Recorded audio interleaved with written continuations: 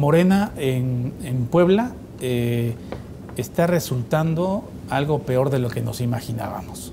Venta de candidaturas, eh, ocultamiento de encuestas mediante las cuales supuestamente toman la decisión de las candidaturas, eh, rupturas, ¿no? Están perdiendo aliados. ¿Qué pasa en Morena, Puebla? ¿Por qué ha resultado tan decepcionante? De verdad, y lo digo sin exageración. Yo creo que a lo mejor habíamos generado una expectativa muy alta. Pero Morena es un partido político, es el viejo PRI, lo acabas de decir, pues, no, no tendría por qué ser diferente.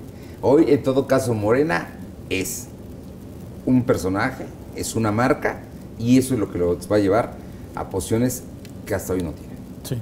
Eso es todo.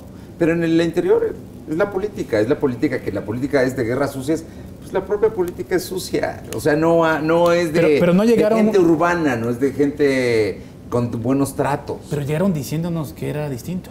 Soy Arturo Luna Silva, nos vemos todos los miércoles para debatir con periodistas invitados sobre el proceso electoral de Puebla, miércoles 9.45 de la noche, canal 4.1, Televisa Puebla.